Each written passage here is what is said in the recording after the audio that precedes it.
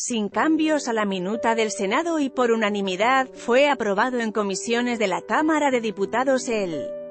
dictamen para la creación de la Guardia Nacional. Tras los 27 votos a favor, la presidenta de la Comisión de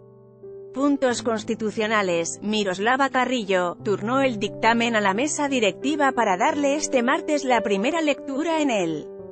Pleno y llevarlo a votación el jueves. Las reformas hechas por la Cámara Alta fundamentalmente son que es esta corporación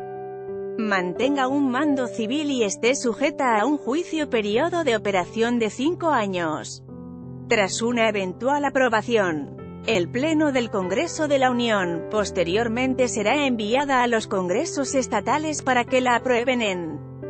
al menos la mitad más uno de estos congresos. Y precisamente el titular del Ejecutivo hizo un llamado hoy a estos congresos para pedirles su apoyo y que respalden la reforma. Durante la discusión de la minuta, la diputada priista María Alemán, miembro de la Comisión de Puntos Constitucionales, adelantó que, en el grupo parlamentario del PRI celebramos la voluntad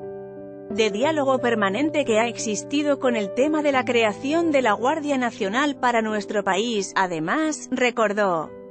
la disposición a construir de manera colectiva y celebramos por supuesto el trabajo que han hecho nuestros compañeros en la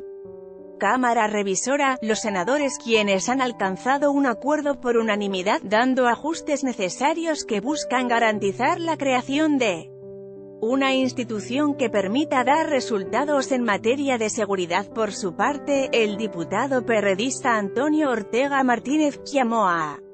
la oposición en el recinto legislativo de San Lázaro a estar pendiente ante una tentativa de Morena por retomar el concepto de un mando militar.